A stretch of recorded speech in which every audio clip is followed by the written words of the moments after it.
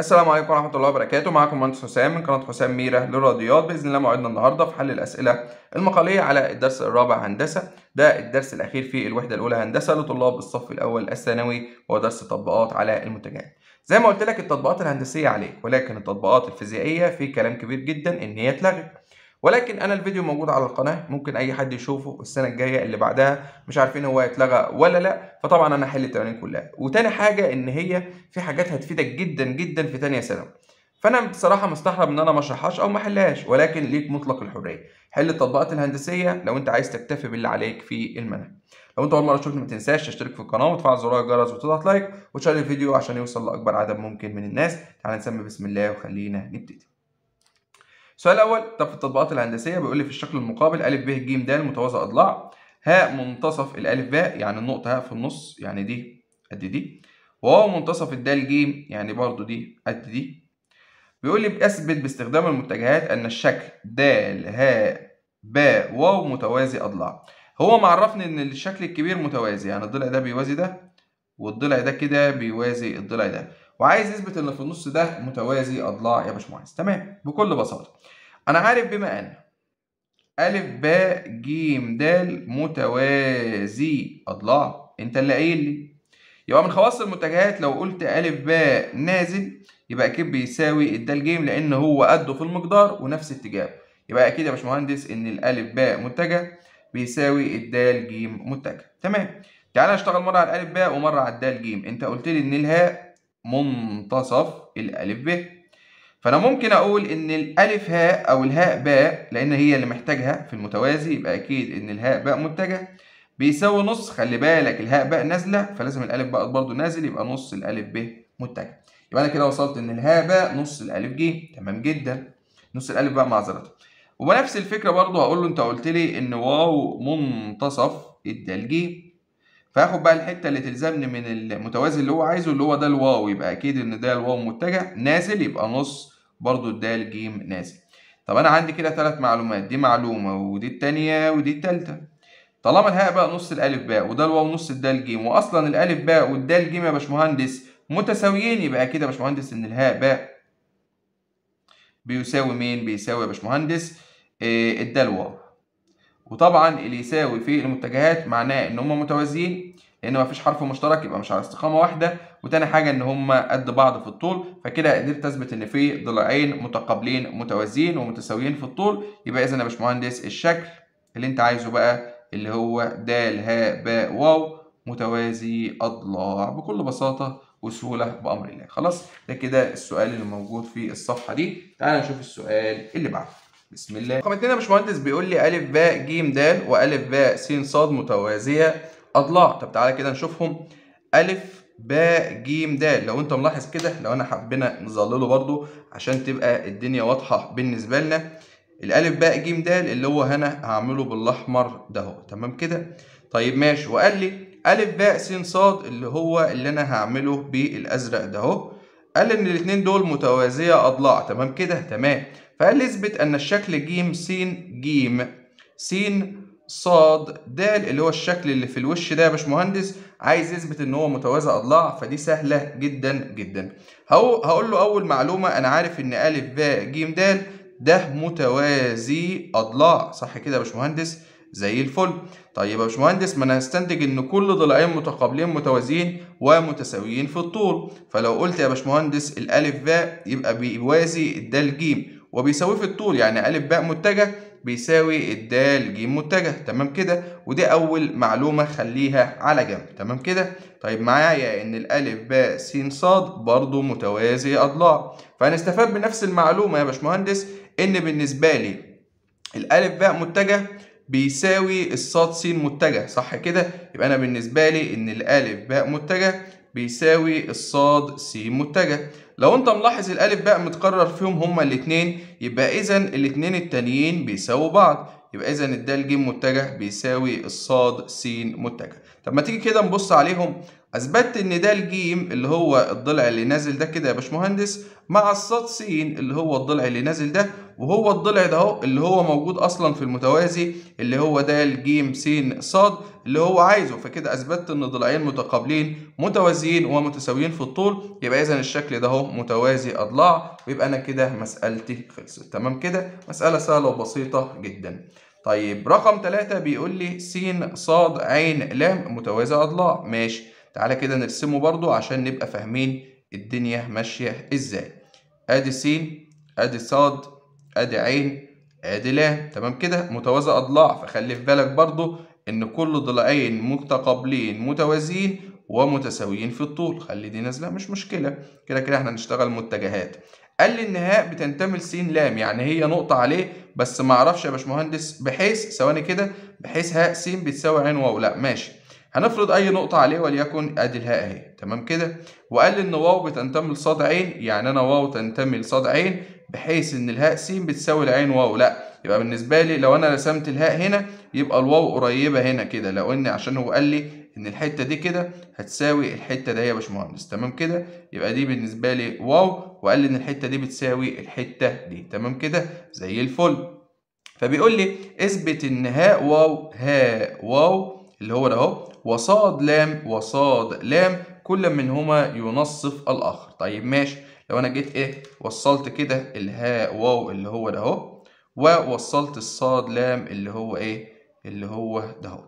عشان أثبت إن القطعتين يا باشمهندس بينصفوا بعض فلازم الشكل ده يا إما متوازي يا إما مربع يا إما بالنسبة لي إيه؟ يا إما معين صح؟ اللي هي الاشكال الرباعية اللي بتنصف بعضها. تمام كده؟ فكل الفكرة هنا إن أنا هقول له أنا هوصل الصاد هاء وأوصل الواو لام وأبدأ أشتغل على الشكل الجديد ده أهو. أحاول أثبت إن هو متوازي أو أثبت إن هو مربع وهكذا عشان أثبت إن القطرين بينصفوا بعض يعني نسمي النقطة دي مثلا إيه؟ ميم تمام كده يا باشمهندس؟ زي الفل.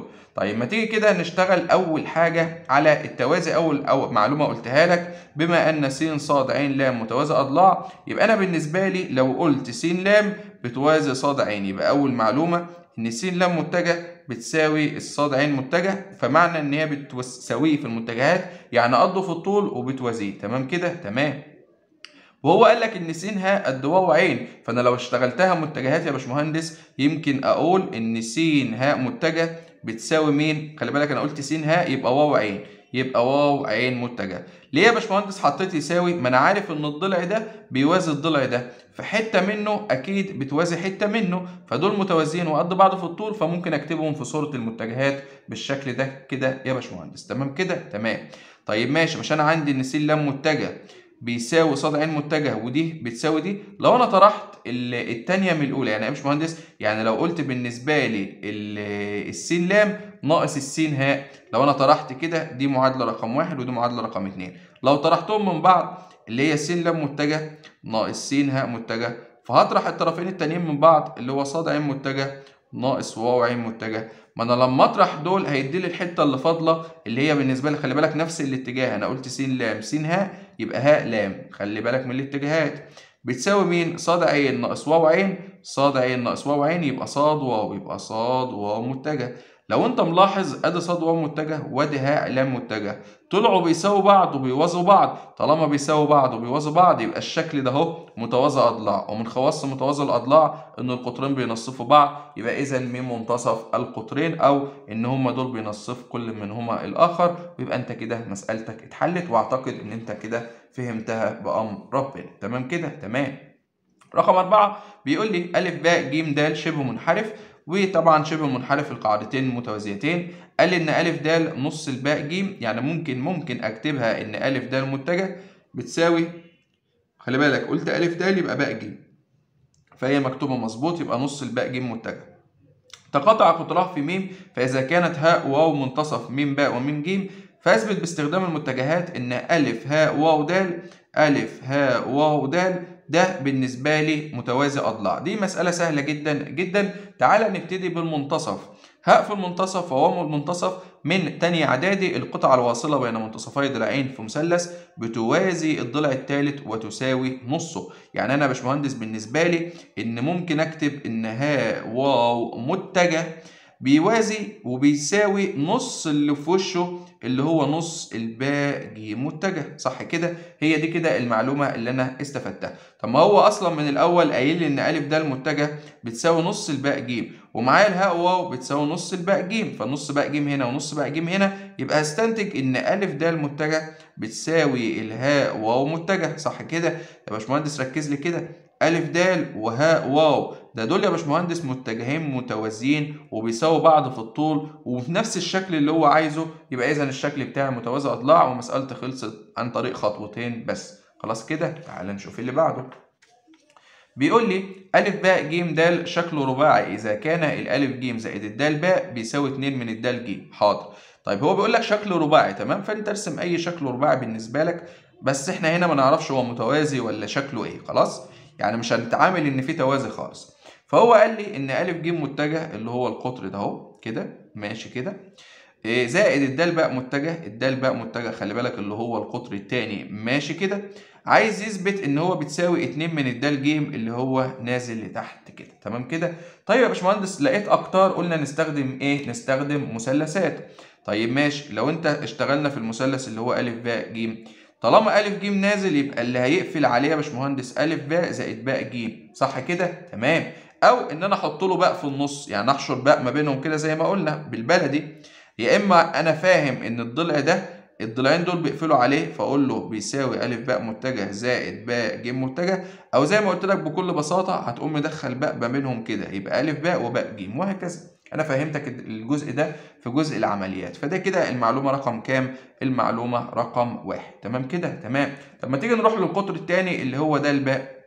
لو ده الباء يا باشمهندس لو أنا جيت بصيت عليه في المثلث ده أهو هاخد المثلث ده لأن فيه ده الجيم خلي بالك إن دال باء نازل فالضلعين اللي هيقفلوا عليه هيبقى ده الجيم وجيم باء. جيم باء هيبقى جاي كده. خلي بالك من النقطة دي. يبقى أنا بالنسبة لي إن دال باء متجه هيبقى عبارة عن الدال ج متجه زائد الجيم باء متجه ده كده المعلومة رقم كام؟ المعلومة رقم اتنين. تمام كده؟ زي الفل. لو إحنا اشتغلنا إحنا كده ما نعرفش لسه الدنيا فيها إيه. أنا كنت لسه أقول لك الشكل متوازي. لا أنا كده لسه ما أعرفش الدنيا فيها إيه. فأنا هجمع المعادلتين دول مع بعض فيطلع لي إن ا ج متجه زائد د باء متجه هيساوي. مبدئيا دي باء ج ودي ج باء فيروحوا مع بعض لأن الحروف بتاعتهم معكوسة. فيفضل لي الألف باء متجه زائد الدال ج متجه. تمام كده يا باشمهندس؟ زي الفل. طيب معايا هنا أ ج زائد الدال باء ودي أ باء زائد الدال ج تمام؟ طيب ماشي. أنا في هنا معلومة هو عطاها لي إن ا ج زائد الدال باء أهو معلومة عبارة عن 2 من الدال ج يبقى أنا بالنسبة لي ممكن أشيل الاثنين دول وأحط 2 دال ج متجه بتساوي ا باء متجه زائد دال ج متجه. لو ودينا دي الناحية الثانية يا باشمهندس يبقى 2 دال ج ناقص دال ج يفضل لي دال ج واحدة متجه بتساوي الألف باء متجه ما تيجي كده نبص على الرسمة قال لك إن دال جيم اللي نازل لتحت بيساوي ا باء اللي هو نازل لتحت. ما طالما والله يا باشمهندس الاثنين نازلين لتحت يبقى الاثنين متساويين في الطول ومتوازيين يبقى اذا الشكل ده متوازي أضلاع لأن أثبتت له إن في ضلعين متوازيين ومتساويين في الطول ويبقى أنا كده مسألتي خلصت. تمام كده؟ هل فيها مشاكل؟ سهلة جدا بأمر ربنا. تعال نشوف اللي بعده. طبعا دي أسئلة أثبت. أنت غالبا هتلاقيها في كتاب المعاصر بس أنا إيه هحاول أفهمها لك برضو بس يعني إيه طلبة عام مش هتتعرض لها قوي. يعني لو عايز تعمل سكيب للجزء ده مفيش مشكلة. هنا طلبة أزهر يعني بيجي لهم كتير النوعيه دي فأنا هحاول أفهمها لك برضو بطريقة سهلة جدا. بيقول لي إيه؟ بيقول لي استخدم المتجهات لإثبات أن القطعه المستقيمة المرسومة بين منتصفي أي ضلعين متقابلين. من أضلاع متوازي الاضلاع توازي الضلع الآخر وطولها بيساوي طول كل منهما. هي طريقة هعملها لك وانت هتبدأ تطبقها في باقي الخطوات. افهم لك أول جزء وانت كده تبدأ تطبقها أو جزئين مثلا وانت تطبقها في باقي الخطوات بتاعتك. أول حاجة هترسم المتوازي بتاعك أهو بالشكل ده كده وتسميه ا ب ج د ولازم تبقى عارف الخواص بتاعته إن هي شغالة معاك لأن هو وضح لي قال لي باستخدام المتوازي. تمام كده؟ تمام. بعد كده يا باشمهندس هترسم الأقطار بتاعتك اللي هي ا ج والباء د بعد كده بيقول لي القطعة المرسومة بين منتصفي أي ضلعين متقابلين. يعني إيه يا باشمهندس؟ يعني لو جيت عند الباء كده وبدأت أنصفه وليكن النقطة دي س وهنا كده برضه جيت أنصفها وليكن النقطة دي ص وأوصل بالمركز اللي هو نقطة تقاطع القطرين معذرة. فدي كده هوصلها ودي برضو كده هوصلها أنا هوصل الجزء ده وهوصل الجزء ده. فهو عايز يثبت إن أي قطعة مثلا عايز يثبت إن س م نص الباء ج والسين م نص الألف د وعايز يثبت إن م ص نص الباء ج وعايز يثبت إن م ص نص الألف د وهكذا. تمام كده؟ تمام. طيب. الوقت يا باشمهندس هثبتها إزاي؟ إثباتها سهل جدا جدا. تمام. أنا عندي يا باشمهندس ده متوازي أضلاع. تمام؟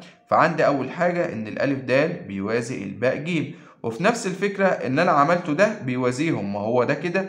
اللي هو السين ص بيوازيهم. يبقى أنا عندي ثلاث توازيات يا باشمهندس اللي هم مين؟ الألف د متجه بيوازي الباء ج أو من غير متجهات الأول بيوازي مين؟ بيوازي السين ص يبقى أنا عندي ثلاث توازيات ودي هتفيدني جدا جدا. تمام كده؟ تمام وزي الفل. بس خلي بالك برضو إن الثلاثه دول قد بعض. يعني إيه؟ الألف د بتساوي الباء ج وفي نفس الوقت بتساوي مين؟ بتساوي السين ص لأن الثلاثه دول محصورين بين قطع متوازية يبقى أطوالهم قد بعض. تمام كده يا باشمهندس؟ زي الفل. تعالى بقى نبدأ البرهان بتاعنا. أول حاجة يا باشمهندس م دي نقطة تقاطع القطرين كده كده بتبقى في المنتصف تمام كده؟ خلي المعلومة دي ثابتة معاك لأن إحنا هنبدأ نستعملها. هنبدأ نشتغل مثلث مثلث وليكن هنروح للمثلث اللي هو الألف باء ج اللي هو بالاحمر ده. أول حاجة يا باشمهندس عندي إيه؟ أنا عندي إن س ص ركز لي بقى في الكلام اللي أنا هقوله ده عشان إيه؟ تفهمه بطريقة سهلة بإذن الله. السين ص ده بيوازي الباء ج صح؟ تمام؟ طالما في حاجة بتوازي حاجة يبقى الجزء منها بيوازي. يعني ده معناه إن س م بتوازي الباء ج فدي أول معلومة إن س م بتوازي الباء ج تمام كده؟ وخلي بالك من نظرية تانية إعدادي س في النص وم في النص. يبقى الس م بتوازي الباء ج وبتساوي نصها. فالمعلومة التانية إن س م بتساوي نص باء ج ده كلام عام كده من غير متجهات. لو أنت عايز تحوله لمتجهات يبقى س م متجه. بتساوي نص الباء ج متجه. بس هي دي فكرة السؤال وهتبدأ تكررها على طول يا باشمهندس. هعمل معاك واحدة تانية وهسيب لك بقى تكمل السؤال لأن هما إيه؟ نفس الفكرة. دي أول معلومة كده أثبتت له إن هي بتوازي الضلع الثالث وتساوي نص اختار لي اي مثلث أنت تحبه وهنبدا نشتغل عليه زي ما أنت عايز. تمام كده؟ تعال نروح للمثلث مين؟ طالما أنا خدت المثلث ده تعال نروح المثلث ده أهو اللي هو الدال باء ج نفس الفكرة يا باشمهندس عندي ميم في النص وصاد في النص والميم صاد بتوازي الباء ج يبقى أنا عندي إن الميم صاد بتوازي الباء ج وفي نفس الوقت إن م ص بتساوي نص الباء ج صح كده؟ فأنا ممكن أكتب إن م ص متجه بتساوي نص الباء ج متجه. دي كده معلومة تانية. تمام. طب لو اشتغلت فوق يا باشمهندس نفس الفكرة. س في النص م في النص. وس م بتوازي الالف د يبقى س م متجه بتساوي نص الألف د متجه. تمام كده؟ زي الفل. طب يا باشمهندس إيه تاني معايا؟ والله يا باشمهندس خلي بالك إن هو بيقول لك توازي وطولها هيساوي طول كل منهما. يعني هو عايز يثبت إن أطوالهم قد بعض. ما علينا سهله برضو لو أنا قلت برضو إن الميم ص بيوازي الألف د م في النص وصاد في النص يبقى م ص بتساوي نص الألف د خلي بالك إن باء ج بتساوي الألف د يبقى دي نص دي ودي نص دي يبقى الأطوال ده قد بعض. ويبقى أنت كده إثبتت المسألة بتاعتك. مسألة سهلة وبسيطة جدا جدا. تمام كده؟ وأنت كمل إثباتها. هي نفس الخطوات دي. هتبدأ تعوض بيها في باقي المسائل. تمام؟ رقم سبعة برضه سؤال أثبت يا باشمهندس بيقول لي أثبت عن طريق المتجهات إذا تساوى وتوازى ضلعان متقابلان في أي شكل رباعي فإن الضلعين الآخرين يكونان متساويين ومتوازيين أيضا أن يعني معناه فيما معناه إن الشكل بيكون متوازي أضلاع تمام كده؟ طيب ماشي. لو أنا معايا كده شكل رباعي يا باشمهندس مش هيخسر أدي ألف وادي باء وادي ج وادي د تمام كده؟ زي الفل. فبيقول لك إيه؟ اثبت إن لو في ضلعين متساويين ومتوازيين في أي شكل رباعي فأنت افرض أي ضلعين بالنسبة لك. مثلا تعال ناخد الألف باء بيوازي الدال ج وبيساوي نصه. تمام كده؟ تمام. فإن الضلعين الأخرانيين لازم يكونوا متساويين ومتوازيين أيضا. حاضر. تمام. عشان نحلها هنستخدم قاعدة المثلث بتاعنا المثلث الجميل أو إن أنا هرسم القطر بتاعي ده أهو اللي هو الألف ج تمام كده يا باشمهندس؟ زي الفل. أول معلومة قلناها إن الألف باء. بيوازي مين؟ بيوازي الدال ج يبقى أول معلومة إن الألف باء بيوازي الدال ج تاني معلومة بالنسبة لي إن الألف باء بيساوي دال ج هو اللي قال لي تساوى وتوازى يعني الشرطين. الألف باء بيساوي مين؟ بيساوي الدال ج تمام كده يا باشمهندس؟ زي الفل. طالما عندي تساوي وتوازي فممكن نحولها لمتجهات. فده معناه إن ا باء متجه بيساوي الدال ج متجه. تمام كده؟ تعال نروح للمثلث اللي هو الألف باء ج تمام كده يا باشمهندس؟ طبعا ده كده هيبقى بالنسبة لي نازل.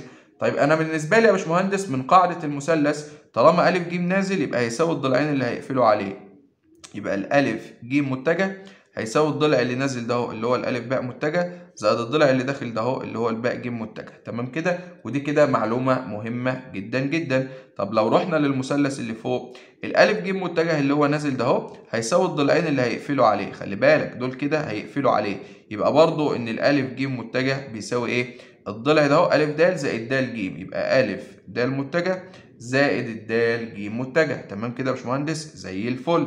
طب لو جيت انت كده بصيت عندك دي كده الالف ج ودي الالف ج تمام؟ وانت عندك أصلا ان الالف باء بيساوي الدال ج الالف باء ده بيساوي الدال ج.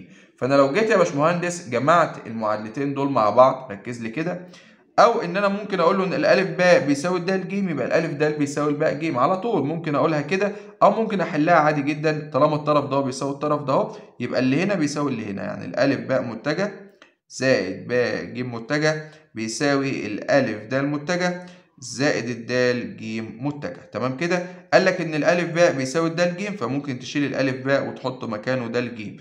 طالما شلته يبقى شيل دي قصاد دي لأن هما في طرفين. يبقى اذا الباء ج متجه بيساوي الألف د متجه. يبقى أنا اثبتت إن باء ج بيساوي الألف د وهو ده كده اللي أنا أثبته له إن الضلعين التانيين بيكونوا أصلا متوازيين ومتساويين في الطول ويبقى أنا كده مسألتي خلصت وأعتقد إن أنت بإذن الله تكون فهمتها. تمام كده؟ تمام.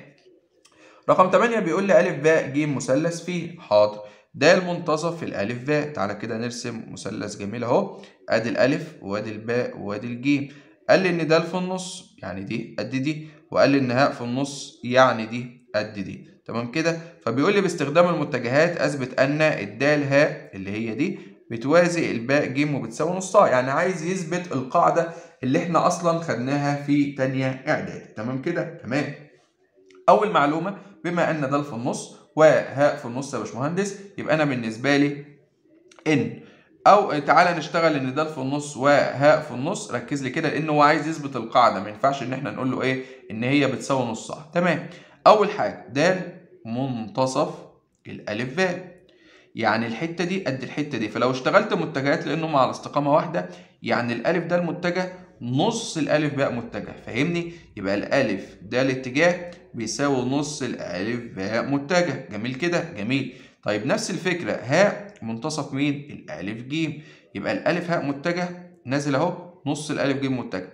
يبقى الألف هاء متجه عبارة عن نص الألف ج متجه. زي الفل زي الفل. طيب ماشي. تيجي نشتغل على المثلث اللي هو فوق اللي هو الألف ده الهاء؟ أيوه. لو أنا جيت قلت لك ألف ده الهاء ده هو الضلع اللي بيقفل عليهم يبقى هيساوي مين؟ هيساوي ده الالف زائد الألف هاء. خلي بالك دول كده ماشيين كده فده اللي هيقفل عليهم. تمام كده؟ تمام. يبقى أنا بالنسبة لي يا باشمهندس إن ده الهاء متجه هيساوي ده الالف زائد مين يا باشمهندس؟ زائد الألف هاء. يعني هيساوي الدال هاء زائد الألف هاء. تمام؟ ده كده كلام جميل. تمام. بعد كده يا باشمهندس هعمل إيه, إيه؟ ده الالف معذرة. ده الالف مش ده الهاء ده الألف زائد ألف هاء طيب ماشي. خلي بالك إن ألف د بنص ألف باء فأنا ممكن أشيل الدال ألف ده أهي وتبقى سالب نص ألف باء. خلي بالك لأن ليه؟ لأن بالنسبة لي دي كده الألف د نص الألف باء. يبقى أنا بالنسبة لي إن ده الالف بالنسبة لي هتبقى سالب نص الألف باء لأن عكست الحروف بتاعتي. تمام كده يا باشمهندس؟ زي الفل. يعني بالنسبة لي؟ بس أنا بتكلم على أطوال فممكن نسيبها نص إيه؟ نص الباء ألف. فنعكس بدل ما أعمل سالب نص ألف باء أهو يا باشمهندس. بص الألف د بيساوي نص الألف باء. بدل ما أعملها سالب نص لا.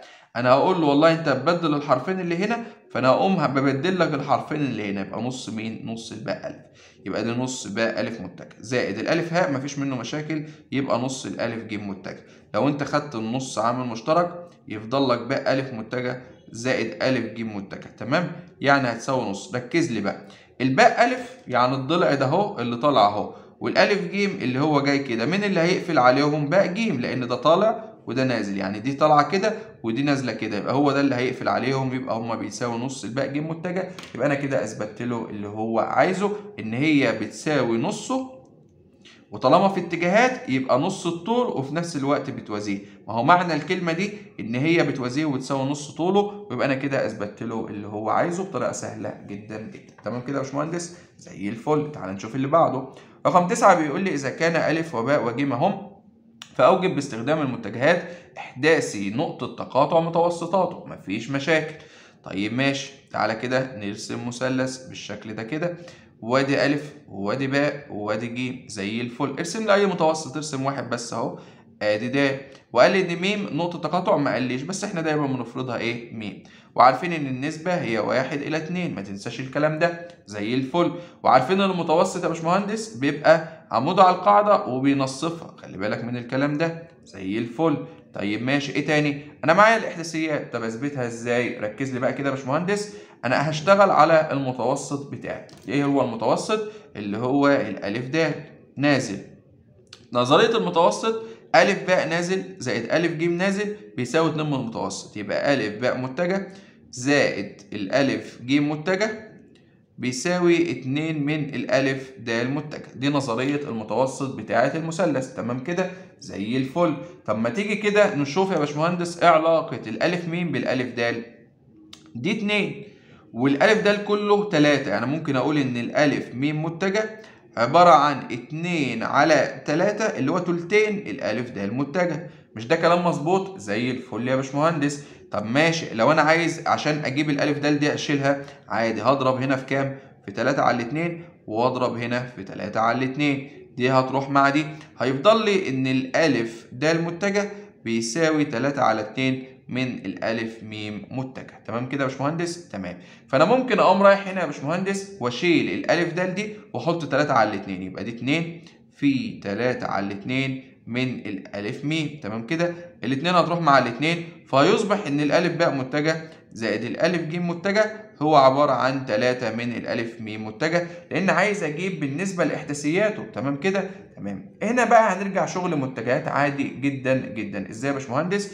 طبعا ده متجه هفكه نهاية ناقص بداية يبقى بقى متجه ناقص ألف متجه. وده هفكه نهاية ناقص بداية يبقى زائد ج ألف متجه ناقص الألف برضه متجه. وده هفكها عادي جدا يبقى 3 في النهاية اللي هي م متجه ناقص البداية اللي هي ألف إيه متجه تمام كده يا باشمهندس؟ ممكن افك وأجمع وأحول مرة واحدة. أسهل لي بكتير جدا جدا. إزاي؟ هفهمك. هنا بالنسبة لي أدي بقى متجه وخد معاها موجب ج متجه سالب ألف وسالب ألف يبقى سالب اتنين ألف متجه خلي بالك دي لو فكيتها هي عبارة عن تلاتة م متجه ناقص تلاتة ألف متجه ودي السالب تلاتة. الناحية التانية تبقى موجب تلاتة ألف متجه وسيب التلاتة م هنا يبقى موجب تلاتة م متجه تعال نظبط دي كمان. يبقى هنا سالب اتنين وموجب تلاتة يبقى ألف متجه. زائد باء متجه زائد ج متجه عبارة عن التلاتة م متجه. دي بقت سهلة كده. طب ما تيجي نجمع الألف زائد باء زائد ج يلا نجمع. ستة زائد تمانية أربعتاشر وسالب اتنين يعني موجب اتناشر. طب هنا خمسة ناقص تلاتة اتنين اتنين وسالب خمسة يعني سالب تلاتة. دي عبارة عن التلاتة من الميم متجه. يبقى الميم متجه هيساوي هتقسم على التلاتة. يبقى اتناشر على التلاتة فيها الأربعة سالب تلاتة على تلاتة بسالب واحد يعني الكلام ده اهو بأربعة وسالب واحد ويبقى أنا كده مسألتي خلصت. تمام كده يا باشمهندس؟ يا رب تكون بقت سهلة بالنسبة لك وبإذن الله تكون سهلة. طيب السؤال اللي بعده بيقول لي إذا كان ألف وباء وج ودال اعتلوا إحداث النقط. فقال لي إثبت باستخدام المتجهات أن الشكل ألف باء ج د شبه منحرف. لو أنا جيت رسمت كده يا باشمهندس بالنسبة لي شبه منحرف. وليكن مثلا آدي ألف وآدي باء وادي ج وادي د تمام كده؟ تمام. عشان اثبت إن هو شبه منحرف لازم اثبت إن الألف د بيوازي الباء ج وفي نفس الوقت مش بيساوي طوله. بيوازيه ومش بيساوي طوله. تمام؟ اثبت التوازي إزاي؟ تعالى كده نشتغل على الألف د متجه وفي نفس الوقت في نفس الاتجاه الباء ج متجه. تمام؟ طعنا إن هما متوازيين يا باشمهندس يعني ميلهم قد بعض. طب ما تيجي كده نشوف ميل الألف د والله يا باشمهندس المفروض إن ميل أي نقطتين أو بقانون الميل اللي إحنا عارفينه اللي هو س ص أو إن أنا أقول ص على س هنا وص على س هنا. تمام كده يا باشمهندس؟ خلي بالك إن أنا هشتغل على ألف د متجه يعني هيساوي النهاية اللي هو د ناقص البداية اللي هو ألف. تمام كده؟ تمام. يبقى سالب خمسة ناقص خمسة يعني سالب عشرة وهنا سالب أربعة ناقص واحد يعني سالب خمسة. تمام. طب بقى ج متجه. هيساوي النهاية اللي هي ج ناقص البداية اللي هي باء. تمام كده؟ تمام.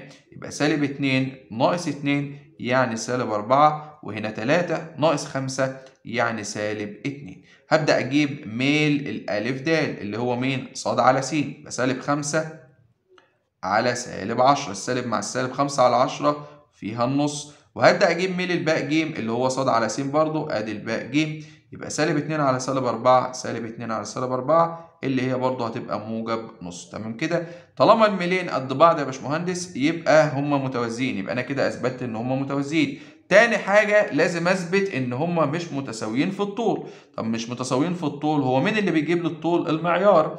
يبقى أنا هجيب معيار الألف ده المتجه هيساوي جذر. السين تربيع اللي هي سالب 10 تربيع والصاد تربيع اللي هي سالب 5 تربيع وأشوفها بتساوي كام؟ وهجيب برضه معيار الباء ج لازم ما يطلعوش قد بعض تمام كده؟ وهنا معيار الباء ج لأن طلع قد بعض يبقى متوازي. هنا معيار الباء ج أهي اللي هي سالب 4 تربيع زائد 2 سالب 2 تربيع. دي سهلة سالب 4 تربيع ب 16 وسالب 2 تربيع ب 4 يعني جذر 20 يعني دي 2 جذر 5 تمام كده؟ طبعا دي 2 جذر 5 تعال نشوف الثانية بقى. ادي يا باشمهندس جذر 10 تربيع. مش مهم السالب لأن الأس الزوجي بياكله. وهنا بالنسبة لي هتبقى 5 جذر 5 خلاص كده اطوالهم مش قد بعض.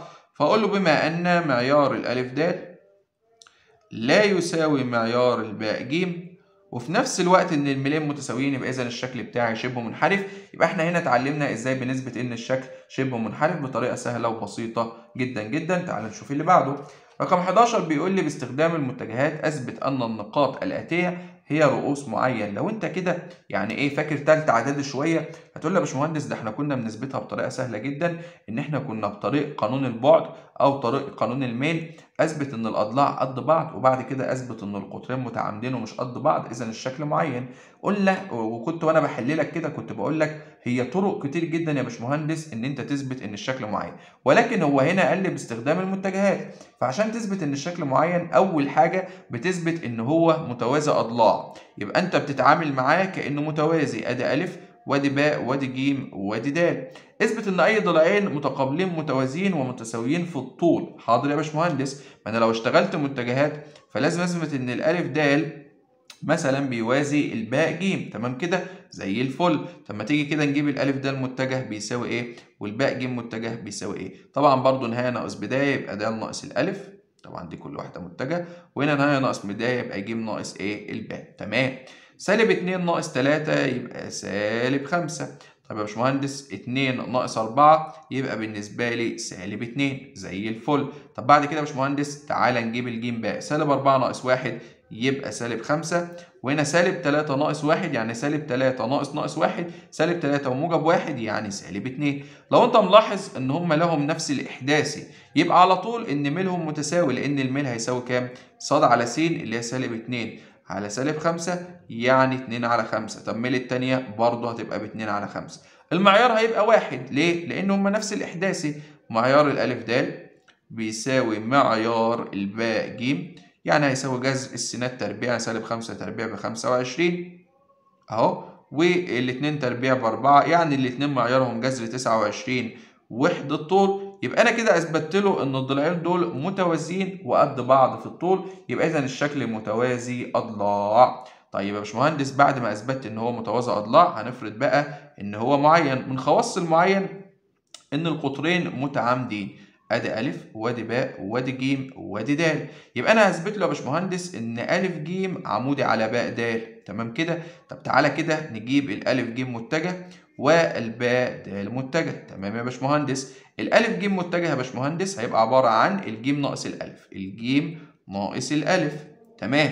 يبقى سالب 4 ناقص 3 سالب 7 سالب 3 ناقص 4 برضه سالب 7 طب ما تيجي نجيب الميل وإحنا واقفين. ميل الألف ج ص على س يبقى سالب 7 على سالب 7 بموجب 1 يبقى لازم الباء د تطلع الميل بتاعها بسالب 1 طب الباء ده عبارة عن الدال ناقص الباء. تمام كده؟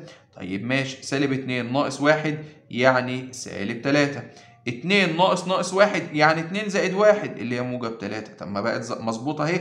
يبقى ميل الباء د بيساوي ص على س 3 على سالب 3 بسالب 1 طب يبقى كده حاصل ضرب الميلين بتوعنا سالب 1 يعني ميل الألف ج في ميل الباء د الميل طبعا بيساوي واحد في سالب واحد بسالب واحد. يبقى أ ج عمود على باء د وفي نفس الوقت اللي كل ضلعين متقابلين متوازيين متساويين في الطول يبقى إذا الشكل بتاعي معين. يبقى عشان أثبت إن هو معين أثبتت الأول إن هو متوازي أضلاع بعد كده أثبتت إن القطرين مالهم متعامدان. تمام كده يا باشمهندس؟ زي الفل. وتعالى يلا نشوف السؤال اللي بعده. رقم 12 بيقول لي أ ب ج د شكله رباعي فيه الألف بكذا والباء بكذا والجيم بكذا والدال بكذا. فبيقول لي اثبت باستخدام المتجهات إن الشكل ده مستطيل وعايز محيطه وعايز مساحته. نفس الفكرة يا باشمهندس هبدأ أثبت الأول إن هو متوازي أضلاع. تمام كده؟ دايما المتوازي هو الأب الروحي بتاعهم بتاع الأشكال دي كلها. تمام كده؟ تمام. ادي كده المفروض يعني نثبت ان الزاوية قايمة وكل ضلعين برضو متوازيين ومتساويين في الطول. ممكن نشتغل على ألف د وألف باء براحتك أو ألف باء ودال ج انت حر. أنا المرة اللي فاتت اشتغلت على ألف د وباء ج تعالى المرة دي اشتغل على ألف باء. مفيش مشكلة. أنا اشتغلت المسألة اللي فاتت الضلعين دول المسألة دي هشتغل كده عادي جدا. يبقى باء ناقص ألف تمام كده؟ والباء الألف باء بقى أنا خدت الألف باء يبقى دال جيم دال جيم عبارة عن إيه؟ إن الجيم متجه ناقص الدال متجه. تمام يا باشمهندس؟ بقى ناقص ألف. يلا. تسعة ناقص واحد موجب تمانية. صفر ناقص ناقص اتنين يعني صفر زائد اتنين يبقى موجب اتنين. طيب ماشي. الجيم ناقص الدال. تمانية ناقص صفر بتمانية وأربعة ناقص اتنين بموجب اتنين. لو أنت ملاحظ هما نفس النقط يبقى على طول من غير ما تفكر إن الميلين قد بعض. خلاص؟ يعني مش محتاج أكتبها يعني بس مش مشكلة. هنا الميل هيساوي كام؟ صاد على س يعني 2 على 8 يعني ربع وهنا الميل برضو بيساوي 2 على 8 اللي هو إيه ربع. طب المعيار معيارهم هيبقى واحد معيار الألف باء بيساوي معيار الدال ج بيساوي إيه يا باشمهندس طبعا جذر ال 8 تربيع ب 64 والاثنين تربيع ب 4 يعني جذر 68 يبقى هو معيارهم قد بعض. هل دي ليها جذر؟ ب 2 جذر 17 يبقى دي عبارة عن كام؟ 2 جذر 17 خليها على جنب. تمام. طيب ماشي. أنا كده اثبتت إن الشكل ماله متوازي. طيب عشان أثبت إن هو يا باشمهندس مستطيل أنا عندي المستطيل من خواصه إن الضلعين دول بيعملوا زاوية 90 أنا رسمتها لك أول حاجة.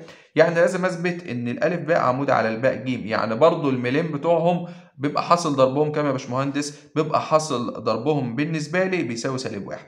فأنا هجيب الأول طبعا أنا جايب الألف باء متجه فده بالنسبة لي ميله بربع فأنا هجيب مين بس؟ الباء ج متجه.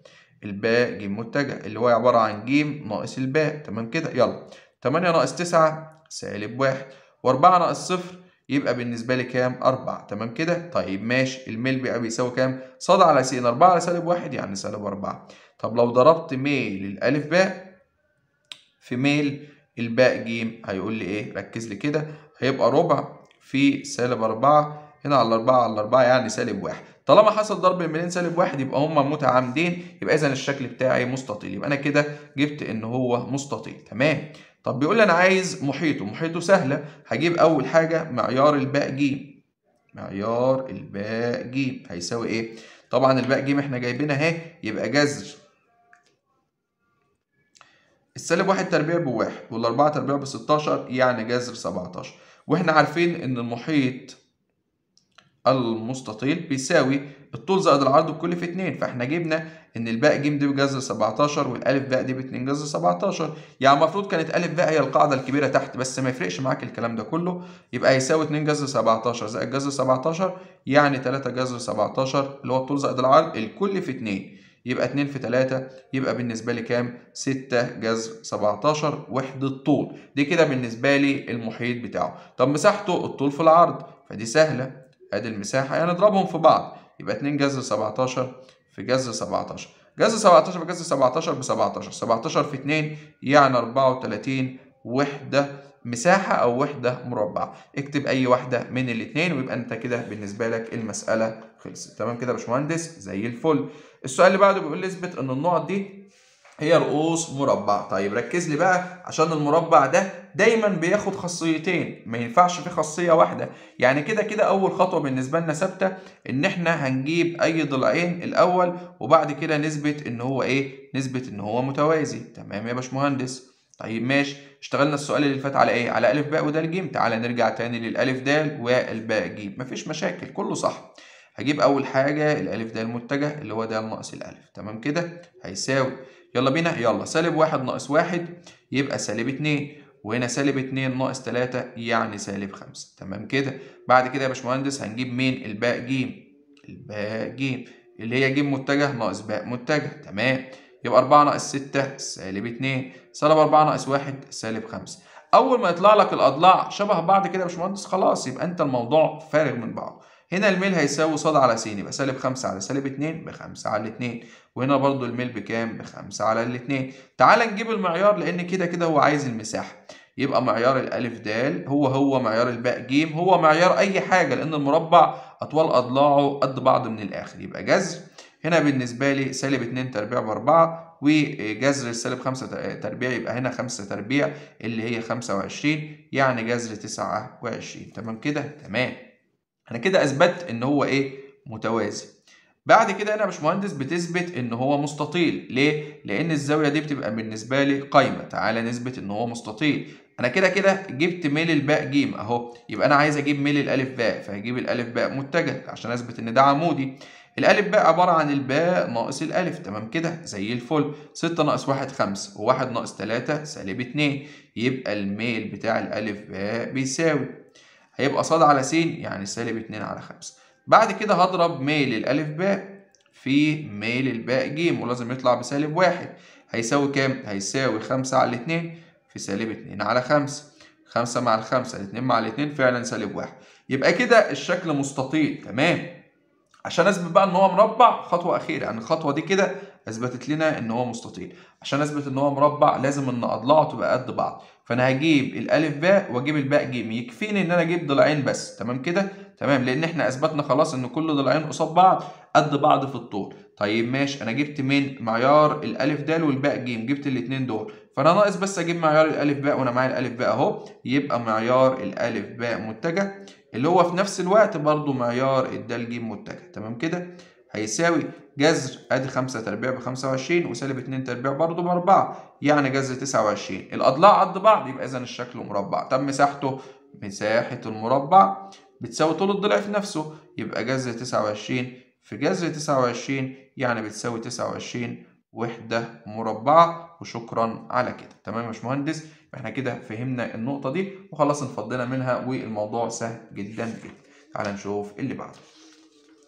رقم 14 بيقول لي إيه يا باشمهندس؟ بيقول لي ا ب ج مثلث فيه د تنتمي لألف باء وهاء تنتمي لألف ج قال لي إن د الف هو فرضها بالمتجه م وهاء ألف فرضها من المتجه ن وباء د 2 م والجيم هاء 2 ن فأوجد الباء ج عايز الباء ج متجه بدلالة الميم والنون. ثم برهن أن الباء ج بتوازي الدال هاء تمام كده؟ خلي بالك إن دي م ودي 2 م يعني دي كأن نسبتها 1 ودي 2 وده برضه نسبتها 1 ودي نسبتها إيه؟ 2 تمام كده يا باشمهندس؟ زي الفل. تمام. طيب ماشي. تعالى كده نشتغل على واحدة واحدة. أنا بالنسبة لي ان د دي تبع الألف باء صح؟ تعالى نشتغل على الجزء ده. تعالى نشتغل على الجزء ده. مش هي الاثنين طالعين لفوق؟ السهمين طالعين لفوق. فأنا هقول إن باء ألف كمتجه هو عبارة عن مجموع الاثنين اللي هو باء د متجه زائد الدال ألف متجه. صح كده؟ تمام. باء د بكام؟ ب 2 م وده الالف بكام؟ ب م يبقى مجموعهم كام؟ 3 م تمام؟ تعال نروح الناحية الثانية وبنفس الفكرة هاء بتنتمي فهناخد من تحت لفوق لأن هو ماشي كده. يبقى الجيم ألف بتساوي كام؟ عبارة عن الجيم هاء متجه زائد الهاء ألف متجه. خلي بالك وأنت ماشي تمام كده؟ اللي هي برضو اتنين وواحد بس المرة دي نون يبقى دي تلاتة نون متجه. تمام كده؟ تمام وزي الفل. يا باشمهندس تعالى بقى نروح لقاعدة المثلث وركز لي كده.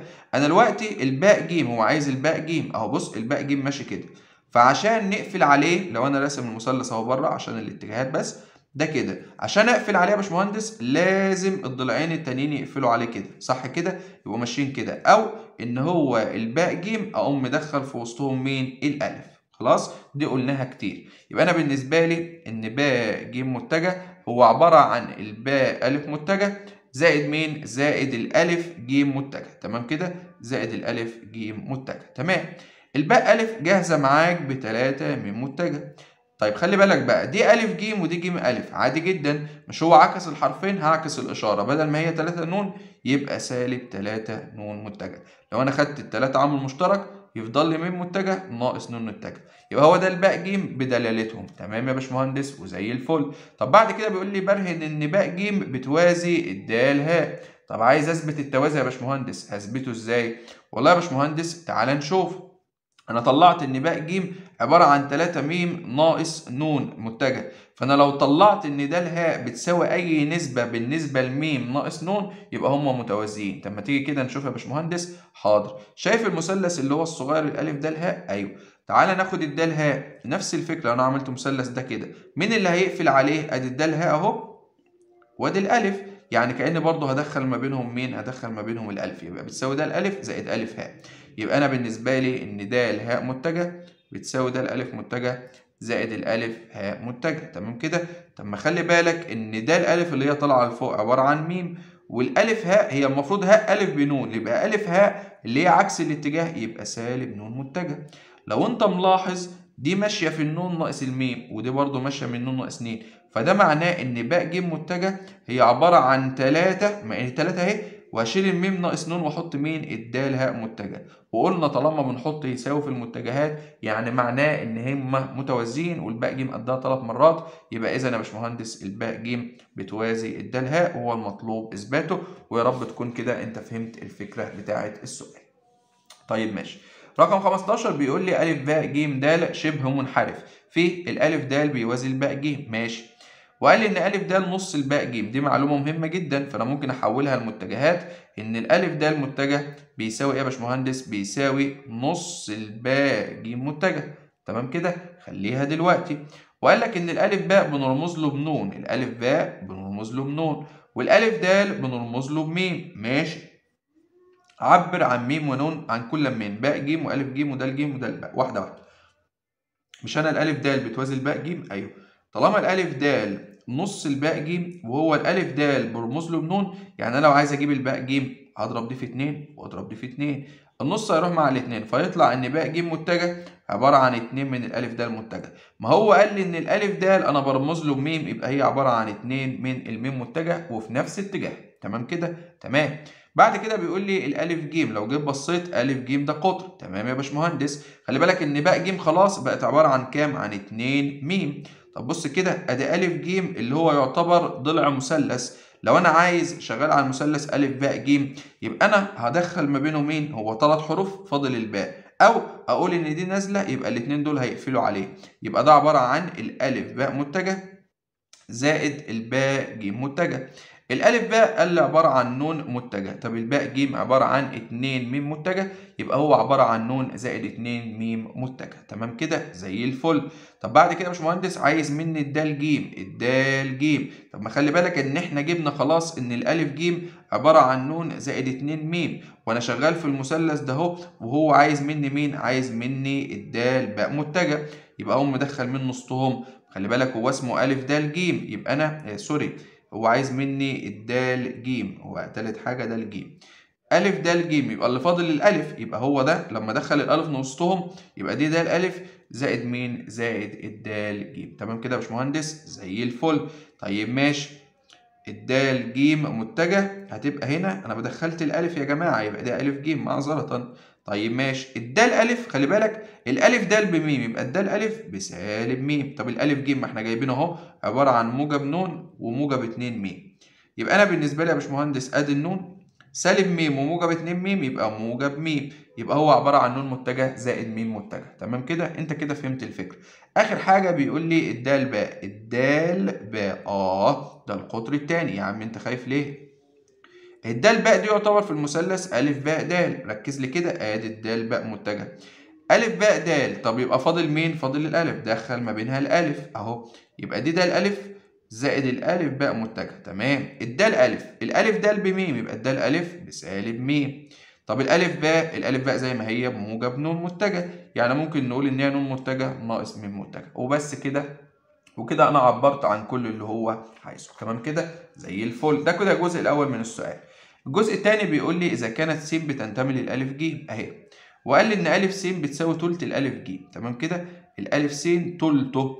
يعني خلي بالك لو دي نسبتها واحد طالما يا باشمهندس تلت الكبير يعني ده نسبتها اتنين لأن الكبير كله نسبته كام؟ تلاتة. تمام كده؟ زي الفل. فقال لي أثبت أن النقط د وس وباء د وس وباء اللي هو القطر الثاني تقع على استقامة واحدة. تمام؟ طالما تقع على استقامة واحدة برضو إن إحنا لازم نحولها في المتجهات. ما إحنا قلنا المتجهات معنى كلمة يساوي إن هم على استقامة واحدة أو متوازيين. تمام كده؟ لو في حروف مشتركة يبقى هم بالنسبة لي على استقامة واحدة. يبقى إحنا لازم نطلع تساوي وحروف مشتركة. تمام؟ طيب ركز لي كده. هو قال أول معلومة قال لي إن ألف س عبارة عن تلت الألف ج. صح كده يا باشمهندس؟ زي الفل. لو ضربت الطرفين في 3 تمام؟ وحولتهم متجهات بالمرة عادي جدا. دي هتروح مع دي هيفضل لي هنا إن الألف ج متجه اللي هو ده أهو عبارة عن 3 من الألف س متجه. صح كده يا باشمهندس؟ زي الفل. دي كده أول معلومة. تمام؟ طيب ماشي. طب السين ج خلي بالك إحنا ماشيين إزاي؟ ألف ج وقلنا ألف س طب لو أنا عايز يا باشمهندس أجيب السين ج والله يا باشمهندس السين ج متجه نسبتها 2 طب نسبتها بالنسبة للألف س يبقى هي عبارة عن 2 برضو من الألف س لا؟ لأن دي نسبتها 2 ودي نسبتها 1 بس خلي بالك من الاتجاهات. أنا قلت س ج يبقى 2 من الألف س. تمام كده يا باشمهندس؟ زي الفل. طب ما تيجي بقى نشتغل على المثلث اللي موجود فيه الكلام ده أهو. لأنه بيقول لي د وس وباء على استقامة واحدة. دي أدي بقى أهي وأدي س أهي. فانا أكيد اشتغل في المثلث نهون أكيد المثلث ده اهو اللي هو اللي تحت باء س ج تمام كده؟ زي الفل. فلو قلت باء س هو فاضل مين يا باشمهندس عشان ادخله ما بينهم؟ الجيم. يبقى ممكن أقول ان هي باء ج متجه زائد الجيم س متجه. صح كده يا باشمهندس؟ زي الفل. طيب ماشي. الباء ج أنا الباء ج أنا عارفها يا باشمهندس. والله الباء ج دي لو انت فاكر إحنا اثبتنا أو هو قايل لي في اول السؤال اهو هجيب لك الورقة تاني معذرة أهو. قال لي إن الباء ج عبارة عن 2 من الألف د فأنا ممكن أشيل الباء ج وده أقول إن هي عبارة عن 2 ألف د متجه زائد الجيم س خلي بالك دي س ج لو أنا عايز أخليها ج س هعكس الحرفين دول يبقى 2 س ألف يبقى زائد 2 س ألف متجه طيب ماشي لو خدت الاثنين عامل مشترك هيفضل لي الف د متجه زائد السين ألف متجه طب ما تيجي نبص عليهم كده ألف د متجه زائد س ألف. بص بقى معايا. ألف د وس ألف. طب تعالى نقولها بطريقة تانية. س ألف زائد ألف د اللي هيقفل عليهم مين؟ الدال س يعني الاتنين دول مع بعض بيكافئوا الدال س تمام كده يا باشمهندس؟ زي الفل. أنا ممكن أبدلهم وأقول لك طريقة سهلة. إيه هي؟ أدي الاتنين أهي. خلي دي السين ألف في الأول وخلي دي يا عم ألف د تمام كده؟ الحرفين اللي في النص متشابهين يبقى دي عبارة عن اتنين من السين د. يبقى أنا أثبتت إن الباء س يا باشمهندس عبارة عن اتنين من السين د. وخلي بالك في حروف مشتركة اللي هي السين يبقى إذا التلاتة دول على استقامة واحدة لأن قلنا لما يبقى في حروف مشتركة يبقى هم على استقامة واحدة مش متوازيين ويبقى أنا كده مسألتي خلصت. تمام كده يا باشمهندس؟ تمام تعالى يلا نشوف السؤال اللي بعده. رقم 16 يا باشمهندس بيقول لي أ ب ج د شبه منحرف. في الألف د بتوازي الباء ج حاضر والباء ج قد أربعة من الألف د طب تعالى كده نستفيد بالمعلومة دي. ممكن نقول إن باء ج متجه عبارة عن أربعة من الألف د المتجه وقال إن ألف د معبر عنه بميم والألف باء معبر عنه بنون. فأول جزء من السؤال إيه ده؟ شبه السؤال اللي فات يعني تقريبا. بيقول لي عبر بدلالة ميم ونون عن من؟ باء ج تمام. تعال نشوف باء ج كده. أدي باء ج طب ما أنا عارف يا باشمهندس إن الألف د بميم. يبقى الباء ج دي ممكن أشيل الألف د وأحط ميم يبقى هي عبارة عن 4 ميم. بيهزر معاك صح؟ سهلة جدا. اللي بعدها الألف ج متجه. الألف ج متجه. تعال نشوف إيه موضع الألف ج ده. الألف ج اللي هو القطر ده أهو. ركز لي كده. أهو أهو تمام؟ طب ما خلي بالك إحنا لسه جايبين الباء ج بكام؟ بأربعة ميم متجه. صح كده؟ طيب ماشي. لو أنا اشتغلت على المثلث ألف ج باء ركز لي كده. المثلث ألف ج باء. هنا ألف ج يبقى هدخل ما بينهم مين؟ باء يا باشمهندس. شاطر. يبقى هي ألف باء متجه زائد الباء ج متجه. طيب ماشي. الألف باء هو قال لي عبارة عن المتجه نون. والباء ج إحنا جبناها إن هي 4 ميم. يبقى دي عبارة عن نون زائد 4 ميم. الله ينور عليك. تعالى للي بعده. الباء د الباء د طب ما دي سهلة. دي في المثلث اللي هو ألف د نون. تمام كده؟ فهو بيقول لك إيه؟ بيقول لك باء د شو بص بص باء ودال ثواني كده معذرة. ألف دال باء في المثلث ألف دال باء. معاك الباء والدال يبقى أنت هتدخل الحرف الثالث اللي هو مين؟ الألف. يبقى دي عبارة عن الباء ألف زائد الألف دال. الله ينور عليك. طب ما هي الباء ألف بكام؟ خلي بالك الألف باء بنون يبقى الباء ألف عكسها سالب نون والألف دال بكام؟ جاهزة بميم. فممكن لو ظبطناها شوية يبقى ميم ناقص نون. يبقى دي عبارة عن ميم ناقص نون متجه تمام كده؟ زي الفل. آخر حاجة الدال جيم الدال جيم. طب ثواني كده هو أنا جبت الألف جيم كام؟ أهو. تمام؟ فتعالى بقى نشتغل على المثلث اللي هو إيه؟ دال ألف جيم دال ألف جيم. تمام؟ هو عايز مني الدال جيم. الحرف الناقص ألف يبقى أدخل ألف ما وسطهم. يبقى دي عبارة عن الدال ألف زائد الألف جيم. الله ينور عليك يا باشمهندس. زي الفل. الدال ألف اللي هي عبارة عن ميم. طب الألف جيم إحنا جايبينها أهي عبارة عن نون زائد أربعة من الميم. يبقى ميم وأربعة ميم يبقى خمسة ميم متجه زائد نون متجه. معذرة بس بص بص معايا بس عشان غلطة بسيطة. أنا قلت الدال ألف بميم لا هي الألف دال هي اللي بميم يبقى الدال ألف عكسها. يبقى سالب ميم معذرة يبقى هنا سالب ميم وموجب أربعة ميم يبقى تلاتة ميم متجه. يبقى ده عبارة عن تلاتة ميم متجه زائد نون متجه. بعتذر خلاص؟ تمام كده؟ تمام. تعال نخش على الجزء التاني من السؤال اللي هو شبه الجزء اللي فات بالظبط أو السؤال اللي قبله بالظبط. تمام؟ تمام. يلا بينا. يلا يا باشمهندس. بيقول لي إذا كانت س بتنتمي للدال باء وقال لي إن دال س د س نص أو ربع السين باء. د س ربع السين باء. خلي بالك بقى الدال س دي لو نسبتها واحد يبقى السين باء نسبتها أربعة يبقى الدال باء ده كله نسبته خمسة. تمام كده يا باشمهندس؟ زي الفل.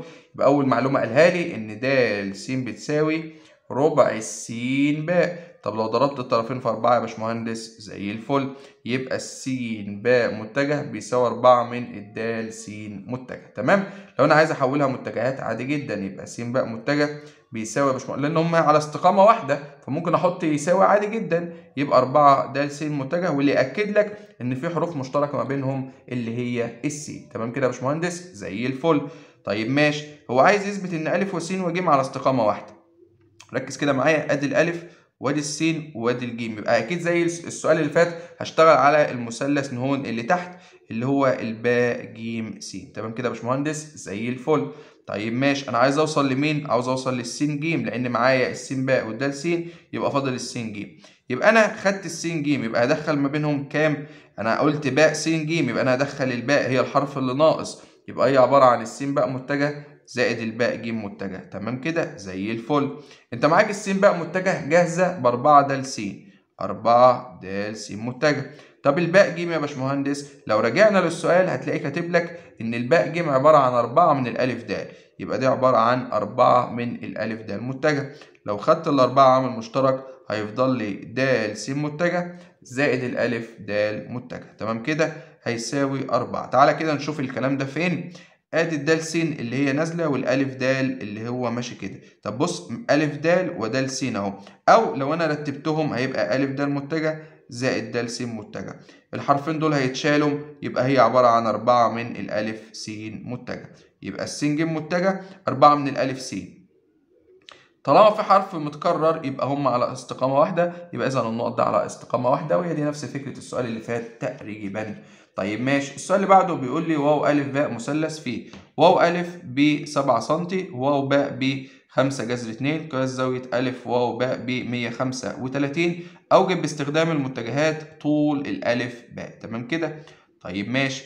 لو إحنا فكرنا كده كانت شبه السؤال اللي في إختر هنقوم منزلين من باء كده عمود. تعالى كده نشوفها هتظبط معانا ولا لأ. بالشكل ده كده أهو. ركز كده معايا. أهي. أدي ألف وأدي واو وأدي باء. خلي بالك بقى لا ثواني دي مش واو دي جيم. ألو... ألو... باء واو اهي. أنا بس إيه زودت حتة بسيطة إن أنا عملت هنا عمود يبقى ده كام؟ 90 وقال لك إن ده كام؟ 7 سم ودي 135 يبقى اللي جنبها ده كام؟ 180 ناقص 135 يبقى 45 يبقى ده كام؟ 45 تمام كده؟ يبقى المثلث ده اهو متساوي الساقين. هو قال لك إن طول الباء واو ده اهو بخمسة جذر اتنين. عود نفسك لو معاك مثلث قائم. طول الوتر حاجة جذر اتنين يبقى ده خمسة وده خمسة. طب يا باشمهندس هعرفها منين بعد إذنك بس بالراحة كده؟ أنا ممكن ما أخدش بالي أقول لك سهلة. ركز كده معايا. سنة بسيطة. إيه هي السنة البسيطة؟ أنا عارف إن الوتر تربيع اللي هو خمسة جذر اتنين تربيع. بيساوي الواو ج زائد الجيم باء طب ما هم متساويين. يعني ممكن أسمي دي س وتبقى س تربيع وأسمي دي س يبقى س تربيع. طب أما راجع أربع دي 5 تربيع ب 25 و2 تربيع. والله يا باشمهندس يبقى كده خم... 25 في 2 ب 25 س تربيع وس تربيع يبقى 2 س تربيع. اقسم الطرفين على الاثنين ده هتروح مع دي يبقى الس تربيع بيساوي 25 يبقى الس بخمسة. تمام كده؟ يبقى عرفنا ان طول الضلع بكام؟ بخمسة. فبيقول لي أنا عايز منك طول الألف باء. طب ركز لي كده بعد إذنك. مش أنا الوقت ده مثلث قائم. أيوه. وعرفت إن دي خمسة ودي خمسة. صح كده؟ تمام. طب يا باشمهندس ما أنا ممكن أجيب زاوية مين؟ أو هو عايز مني طول الألف باء من عن طريق مين؟ عن طريق فيثاغورس وخلاص المسألة خلصت ودي طريقة سهلة جدا جدا وهتبعد عن المتجهات. تمام كده؟ يبقى أنا بالنسبة لي آه ده هو بيقول لي أوجب باستخدام المتجهات. ماشي ماشي. أنا المهم حليتها لك جبريا ومعلش هحلها لك تاني باستخدام المتجهات. مفيش مشاكل. طبعا يا باشمهندس يبقى بالنسبة لي إن الألف باء تربيع خلي بالك ده كده الضلع في المثلث الكبير. هيساوي ده تربيع زائد ده تربيع. يعني خمسة تربيع زائد خمسة وسبعة يبقى 12 تربيع يعني الكلام ده بيساوي كام؟ 169 يبقى الألف باء بيساوي جذر ال 169 اللي هو 13 سم. خلي بالك دي طريقة جبرية كده أنا حلتها لك عشان لو جالك نفس السؤال في اختر ولكن هو بيقول لي معذرة باستخدام مين؟ باستخدام المتجهات. فكده هنضطر نستعملها باستخدام المتجهات. تمام. تعالى كده يا باشمهندس نشوف هتبقى باستخدام المتجهات عبارة عن إيه. كل الفكرة إن أنت هتاخد مسألتك توديها للشبكة الإحداثية. وركز لي بقى عشان إيه؟ ما تتلخبطش. هتفرض إن الواو ده أهي اللي هي طالع منها النقط كلها دي نقطة الأصل بتاعتك. يبقى بالنسبة لي أدي الضلع أهو اللي هو واو باء وأدي الضلع التاني اللي هو مين؟ اللي هو الألف باء تمام كده؟ ده المثلث بتاعك أهو. زي الفل. طيب ماشي. دي كده كام؟ سبعة سنتي. ودي كده خمسة. جذر اتنين. وقال لك إن الزاوية ده بكام؟ بمية خمسة و30 درجة تمام كده؟ تمام وزي الفل. خلي بالك إن دي قايمة يعني هي مقسومة ل 90 و45 جنب بعض عشان تبقى فاهم برضه. طيب ماشي. هبدأ أستخدم متجهات بقى. تعال كده يا باشمهندس نشوف الواو والألف. طبعا إحداث النقطة ألف دي المسافة دي سبعة يبقى النقطة ألف ده أهي على محور السينات يبقى هي سبعة وصفر. يبقى أنا لو قلت واو ألف متجه هيبقى عبارة عن النهاية اللي هو ألف ناقص البداية اللي هو واو. وأي حاجة بتنسبها لنقطة الأصل بتبقى هي نفسها. يبقى هي عبارة عن سبعة وصفر. تمام كده يا باشمهندس؟ زي الفل. طب لو أنا عايز أحولها يا باشمهندس لصورة إحداثية خلاص أنا مسوي صورة إحداثية هي سبعة وصفر. تمام؟ تعال نشوف المتجه اللي بعده اللي هو الواو باء. تمام؟ الواو باء ده هو معياره بخمسة جذر اتنين. ما هو المعيار اللي هو الطول. يبقى أنا بالنسبة لي خمسة جذر اتنين. أنا عايز أجيب الصورة الإحداثية. والزاوية اللي بيصنعها مع السينات الموجب مية خمسة وتلاتين. زي الفل يا باشمهندس. يبقى بالنسبة لي لو جبت السين يبقى خمسة جذر اتنين جتا مية خمسة وتلاتين. طيب ماشي ولو جبت الصاد يبقى خمسة جذر اتنين جا مية خمسة وتلاتين. تمام كده؟ الجتا في الربع التاني سالبة. يبقى ده واحد على جذر اتنين بالسالب يعني ده تطلع سالب خمسة. ودي الجا في الربع التاني موجبة واحد على جذر اتنين يبقى دي موجب خمسة. يبقى إحداثي النقطة واو بقى ده في الصورة الإحداثية عبارة عن سالب خمسة وكام؟ وخمسة. تمام كده؟ تمام. عارفين إن ألف باء هو المحصلة بتاعتهم صح؟ الألف باء متجه هو عبارة عن المحصلة بتاعتنا. ليه؟ لأن ممكن أقول إن الألف باء لو حطيت واو في النص هو عبارة عن الألف واو زائد الواو إيه؟ زائد الواو باء. تمام كده يا باشمهندس؟ زي الفل. تمام. طيب ماشي. لو أنا جبت بقى المحصلة هتبقى عبارة عن إيه يا باشمهندس؟ ركز لي كده. آه خلي بالك دي ألف واو. إحنا معانا واو ألف بسبعة وصفر. خلي بالك دي تفرق معاك. يبقى الألف واو ده أهو هنعكس ده أهو. يبقى سالب سبعة وصفر. خلي بالك دي تفرق معاك جدا. يبقى دي سالب سبعة وصفر زائد الواو بقى اللي هي سالب خمسة وخمسة. هتساوي سالب سبعة وسالب خمسة سالب اتناشر صفر وموجب خمسة موجب خمسة. يبقى عايزين بقى نجيب معيار المحصلة سهلة جدا جذر. السينات تربيع ب 144 اللي هي سالب 12 تربيع و5 تربيع ب 25 يعني جذر ال 169 اللي هي برضه هتطلع 13 وقلنا المعيار هو الطول. يبقى أنا كده يا باشمهندس جبتها لك بطريقة جبرية وجبتها لك برضه بطريقة المتجهات اللي هو طالبها منك خلال المسألة. ولسه في أسئلة على الجزء المقالي ده. التطبيقات الفيزيائية بإذن الله مش هتاخد مننا وقت خالص هي سهلة. هو الجزء ده بس إيه يعني إيه اللي طويل شوية. الجزء اللي بعده بيقول لي أ ب ج د شكله رباعي فيه. س ص ع ل منتصفات الأضلاع على الترتيب. طيب ماشي معايا شكل رباعي كده. ارسمه أيا كان الشكل الرباعي بتاعك أهو. وقال لك أدي أ وأدي ب وأدي ج وأدي د قال لك س منتصف أ ب وبعد كده ص منتصف الباء ج وبعد كده العين منتصف الجيم د وبعد كده الدال أ اللي هي اللام. وقال لي اثبت إن الشكل ده أهو اللي هو الجديد ده أهو. س صاد عين لام اثبت إن هو متوازي أضلاع. تمام؟ ماشي. تعالى كده يا باشمهندس نشوف هنعمل إيه. الموضوع سهل جدا والله. أنا دلوقتي قال لي إن الشكل ده رباعي وقال لي في النص يبقى ده في النص. وده برضه في النص. ودي كده برضو إيه؟ في النص. ودي برضو كده إيه؟ في النص كل ده في النص بالنسبة لي. تمام كده؟ تمام.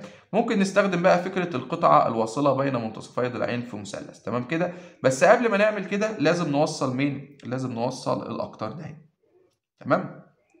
إحنا إحنا هنقول بتساوي نص إيه فإحنا لازم نوصل مين؟ الأقطار بالشكل ده كده. خلاص؟ تقلها بقى كده أهو. بس الرسمة تبقى داخلة في بعضها شوية بس مفيش مشاكل.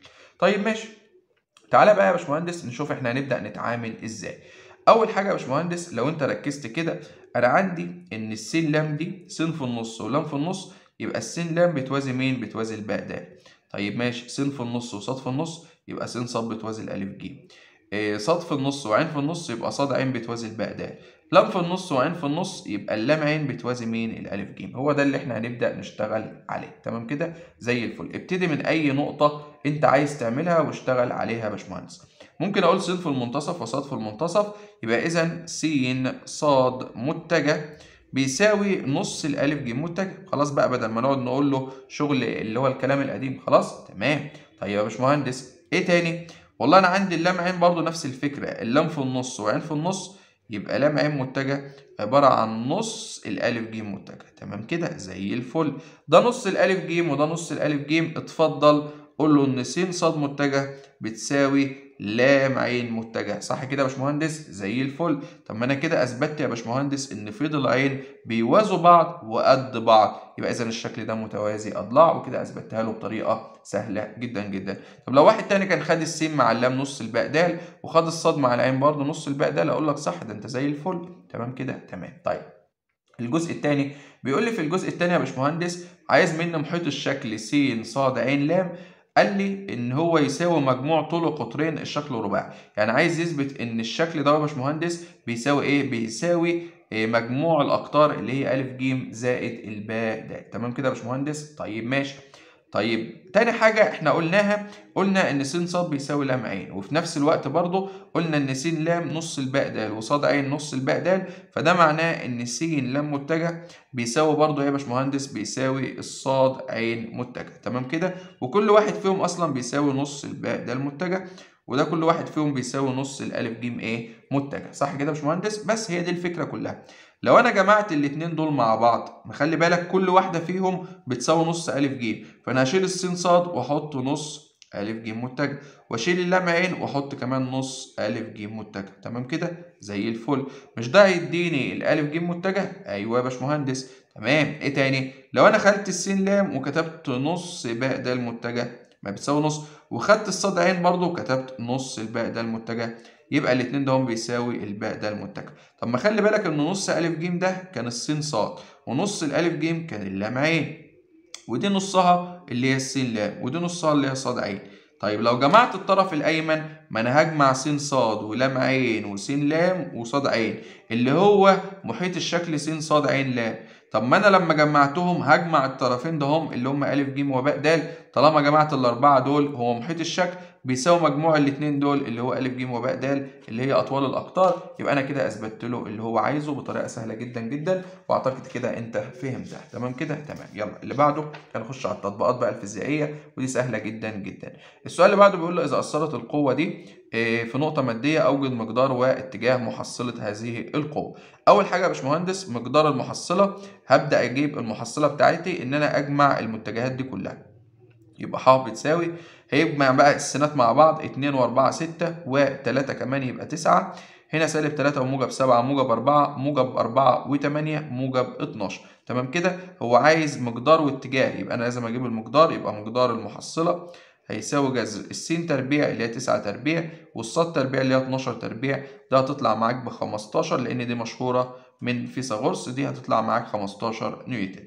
بعد كده عايز اتجاه المحصلة يبقى أنا هجيب الظا سيتا اللي هي عبارة عن ص على س اللي هي 12 على 9 ممكن أقول على التلاتة في الأربعة على التلاتة في التلاتة. وخلي بالك السين موجبة والصاد موجبة يبقى أنت في الربع الأول. يبقى نفس الزاوية اللي هتطلع لنا من على الآلة هي اتجاه المحصلة. يبقى شيفت تاني أربعة على تلاتة تطلع معايا بتلاتة وخمسين درجة سبع دقايق وتمانية وأربعين ثانية اللي هي الإجابة اللي موجودة دي. ويبقى أنا كده مسألتي خلصت. اللي بعده. رقم اتنين بيقول لي إذا أثرت القوة في نقطة مادية حيث أن القوة مقيسة بالدين عايز مقدار واتجاه هذه المحصلة. حاضر. مقدار المحصلة هجمع السينات مع بعض. سالب ستة وموجب تسعة موجب تلاتة. موجب تلاتة وموجب اتنين موجب خمسة. ستة وموجب تلاتاشر تسعتاشر تسعتاشر ناقص سبعة موجب اتناشر. تمام يا باشمهندس؟ معيار المحصلة بتاعتي بيساوي جذر السين تربيع بخمسة وعشرين والصاد تربيع أربعة وأربعين يعني جذر تسعة وستين يعني تلاتاشر وقال لي إن هي متقاسة بالضايل يبقى دي ضايل خلي بالك إن السين موجبة والصاد موجبة يبقى أنت في الربع الأول. طب ما إحنا عارفين إن ظا سيتا هي عبارة عن صاد على س يعني 12 على 5 يبقى أنا هجيب الزاوية إزاي؟ هعمل شيفت تان 12 على 5 تطلع معايا ب 67 22 48 اللي هي نفس الإجابة اللي هنا. وده يعتبر نفس السؤال اللي فات نفس الطريقة ونفس كل حاجة. تعال نشوف اللي بعده. طيب هنا سؤال بيكلمني عن السرعة النسبية. سهل جدا يا باشمهندس. كل اللي أنت هتعمله هتفرض اتجاه حركة. أنا هفرض إن اتجاه الحركة في كل المسائل كده ماشي يمين. أي حاجة ماشية مع الاتجاه يا باشمهندس موجبه أي حاجة ضدها سالبة. فهنا ال 40 ماشية معاها يبقى موجبه وال 30 عكسها يبقى سالبة. يبقى محصلة القوة دي اللي هي ق هتساوي موجب 40 اللي ماشية معاها ناقص ال 30 اللي ماشية ضدها يبقى هتساوي 10 في متجه الحركة مين؟ في متجه الحركة ياء ويبقى أنا كده مسألتي خلصت. فأقول له إن مقدار المحصلة هي 10 في اتجاه القوة 40 لو أنت عايز تكتبها كاتجاه لأن هو بيقول لي هنا عايز محصلة القوة. هنا يا باشمهندس نفس الفكرة إن القوة ق ال70 ماشية معاها هيبقى موجب وال70 التانية ماشية ضدها يبقى سالب. ممكن أقول على طول إن دول قوتين متساويتين في المقدار متضادتين في الاتجاه. يبقى المحصلة صفر. أو أقول إن 70 بالموجب ناقص 70 بالسالب تطلع معايا صفر متجه. يبقى المحصلة بتاعتهم تساوي صفر. يبقى أنا بالنسبة لي المحصلة بتساوي صفر يا باشمهندس وفي اتجاه إحدى القوتين أو واحدة من القوتين لأن طالما القوتين متساويتين المحصلة في اي واحدة فيهم مش هتفرق لأن كده كده في الآخر المحصلة بتاعتي تساوي صفر. تمام يا باشمهندس؟ لو أنت جيت بصيت كده على المنطاد ده هو طبعا طالع. فهنا يا باشمهندس أي حاجة طالعة معاه بالنسبة لي موجب فأنا هفرض إن الاتجاه اللي طالع لفوق هو الموجب تمام كده؟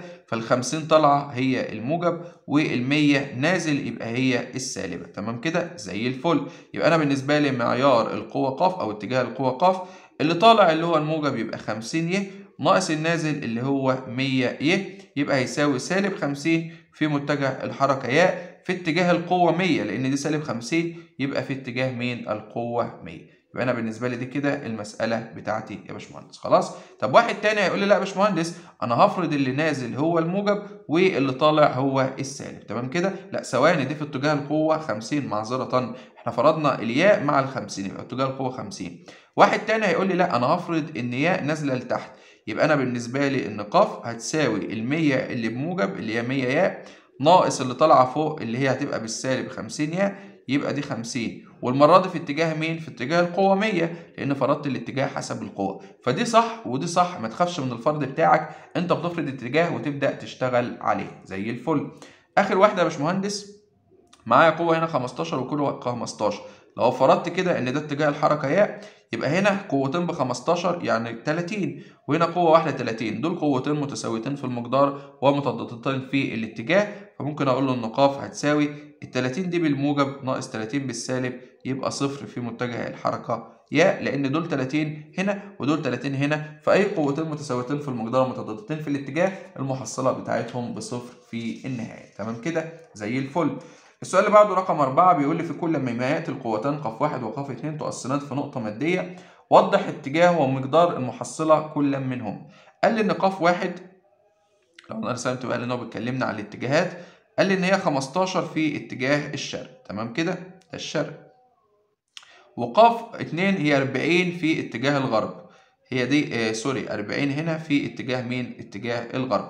طبعا دي سهلة جدا يا باشمهندس ليه؟ لو إحنا فرضنا إن متجه الحركة ياء وهم على استقامة واحدة يبقى ال 15 دي بالموجب وال 40 دي بالسالب صح كده يا باشمهندس؟ زي الفل يبقى متجه الحركة ق هيساوي الموجب 15 ناقص السالب 40 يبقى هتطلع معايا كام؟ سالب 25 في متجه الحركة ياء يعني هي سالب 25 في اتجاه مين؟ في اتجاه الشرق.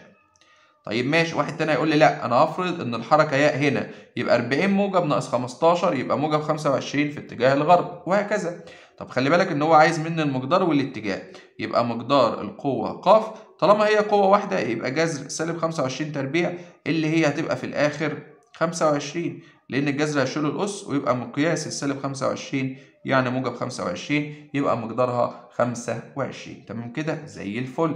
دي كده رقم واحد. رقم اتنين. بيقول لي قاف واحد تعمل فيه. ركز لي كده. غرب الشمال. أدي الشمال.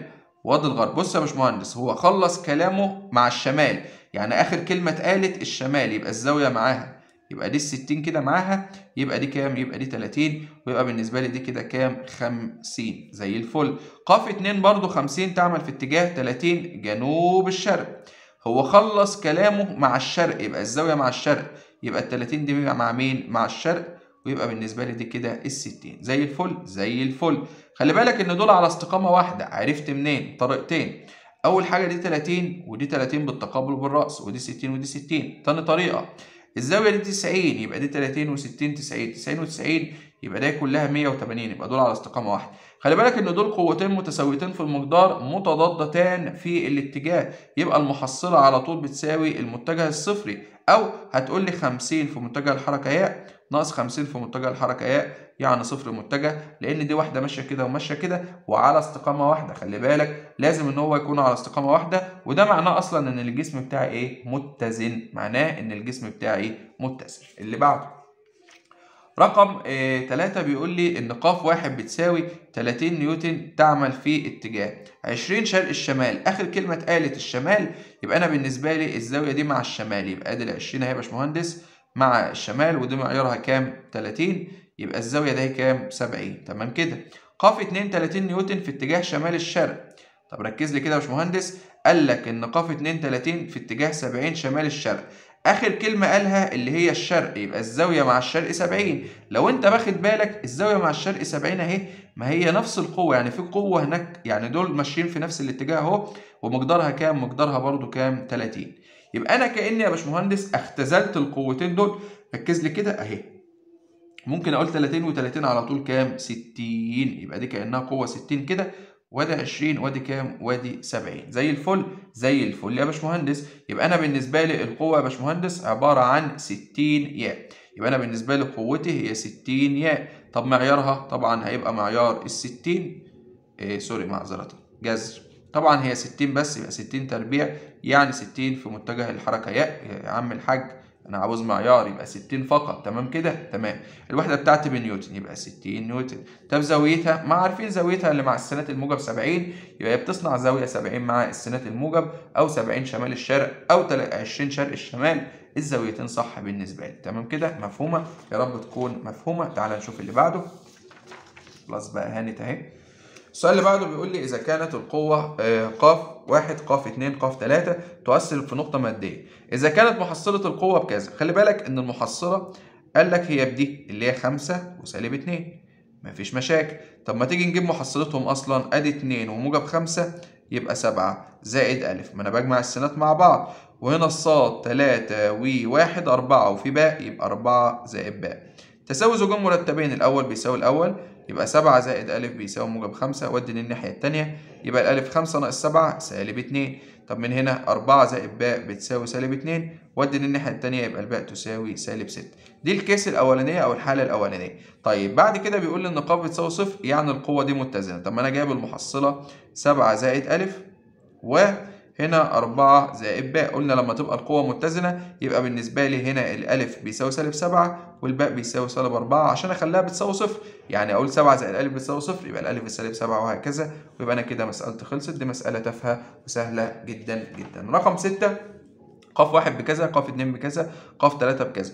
تؤثر في نقطة مادية أوجد قيمة ألف وباء إذا كانت المحصلة بتساوي كذا. يبقى المحصلة بتساوي كام؟ أربعة وسالب سبعة. طب ما تيجي نجيب المحصلة ادي سبعة وسالب أربعة يبقى موجب تلاتة وفي ألف كمان يعني تلاتة زائد ألف. تمام تعال نخش على اللي بعده. سالب خمسة وموجب تلاتة يبقى بالنسبة لي سالب اتنين. ومعاك هنا سالب تلاتة كمان يعني معاك سالب خمسة. ومعاك موجب باء يبقى موجب باء زي الفل. أول بيساوي أول يبقى تلاتة زائد ألف بيساوي أربعة. ودي التلاتة يبقى الألف بيساوي 4 ناقص 3 بموجب 1 الله ينور. طيب ماشي معاك سالب 5 زائد الباء بيساوي سالب 7 ودي دي يبقى الباء بتساوي سالب 7 وموجب 5 يبقى سالب كام؟ يبقى سالب 2 يبقى الألف بواحد والباء بسالب 2 طب لو القوة متزنة غير إشاراتك يبقى 3 زائد ألف وسالب 5 زائد باء. هنا غير إشارة الألف يبقى سالب 3 هنا غير إشارة الباء يبقى موجب 5 ما أنت عايز تجمع يطلعوا بصفر يبقى الألف بسالب 3 والباء بموجب 5 يبقى أنا كده مسألتي خلصت مسألة سهلة وبسيطة جدا جدا تعالى يلا نشوف اللي بعده. بيقول لي تتحرك السيارة ألف على طريق مستقيم بسرعة 140 كيلومتر في الساعة وتتحرك السيارة باء على نفس الطريق بسرعة 110 كيلومتر في الساعة. أوجد سرعة السيارة ألف بالنسبة لباء يبقى عين ألف بالنسبة لباء. اللي هو قانونها عين ألف ناقص العين باء. تمام كده؟ الكيس الأولانية أو الحالة الأولانية تتحرك السيارتان في اتجاه واحد. خلي بالك معايا بقى لو أنا فرضت إن ده أهو. الأولانية بتتحرك ب 140 في نفس الاتجاه يبقى 140 ياء. والتانية برضو ب 110 في اتجاه الياء. يبقى هتساوي خلي بالك 140 دي هي الألف يبقى دي 140 ناقص ال 110 يعني بتساوي 30 في متجه الحركة ياء يعني هي بتتحرك بسرعة 30 كيلو متر للساعة في اتجاه الحركة ياء أو بتحركه في نفس الاتجاه. تمام كده؟ أو أقول له في نفس اتجاه ألف. تمام؟ تمام يا باشمهندس. وكده كده قلنا لو في نفس الاتجاه بطرح لو في عكس الاتجاه بجمع. قصدك إيه يا باشمهندس؟ هقول لك. أنا فرضت الأولانية اللي هي الحالة الثانية بقى هي الحالة الثانية هفرض إن ال 140 هي اللي بتتحرك مع الياء الموجبة. طيب يا باشمهندس ال 110 هو قال لك متضادين يبقى دي في عكس الاتجاه يعني سالب 110 ياء. تمام كده؟ يبقى عين ألف بالنسبة لباء في الحالة الجديدة. العين ألف ب 140 ياء. ناقص ناقص أو أجمع على طول أقول 140 زائد 110 وهكذا يعني. ناقص 110 ياء هتطلع معايا كام؟ 250 ياء. يبقى هي سرعتها ب 250 كيلو متر في الساعة بالنسبة لألف يعني في نفس اتجاه ألف. يبقى في الحالتين هي بتتحرك بالنسبة لاتجاه ألف لأن ألف هي السريعة أصلا. خلاص؟ لو أنت عايز تفهمها بالمنطق يعني. تمام؟ اللي بعده بيقول لي تتحرك سيارة على طريق مستقيم بسرعة 75 كم في الساعة.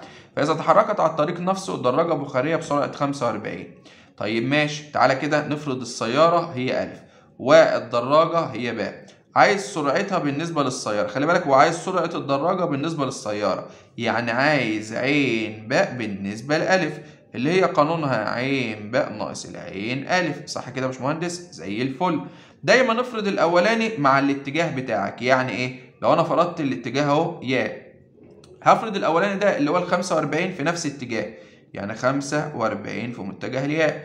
قال لك الدراجة تسير عكس السيارة. تمام كده؟ أو العكس براحتك. يعني أنا فرضت هنا إن هي دي ماشية مع الياء أنت عايز تفرضها عكسها ولا يهمك. خلاص كده. أهم حاجة إن أنا أقول في عكس الاتجاه. تمام كده يا باشمهندس؟ زي الفل.